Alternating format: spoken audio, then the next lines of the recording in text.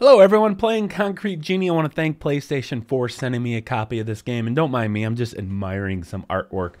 Now, this game is a solid 9 out of 10 in my opinion, and it has got one of the most perfect trophy lists because every trophy is fun. Even the collectibles, which are, you know, are never really typically fun to find, they're actually fun in this game because they're you know, new tools, new things you can paint, and it's just fantastic. The game is beautiful, but I do want to show you a trophy here.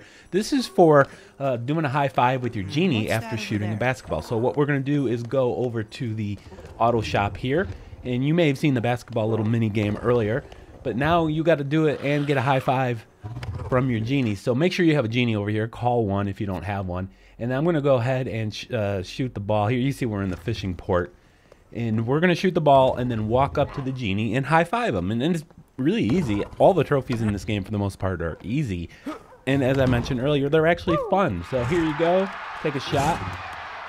The genie's happy, and he's gonna high five me here in a second. I'll have a prompt, and bam, jump up, high five. There we go. Trophy unlocked. Actually, I had already previously unlocked a trophy. But as I mentioned, a lot of the trophies are just kind of simple things like this. I'm not gonna show you all of them, but here's one paint a campfire, and then sit at it. So you'll get the trophy called My Happy Place for sitting at a campfire with your genie. Just press down on your D-pad and you'll sit. There you go. Anyways, play the game. I'm going to stream it a little bit later, and I'm really looking forward to getting through this game if I get through it, because at this moment I can't stop painting things. So maybe I'll never complete it.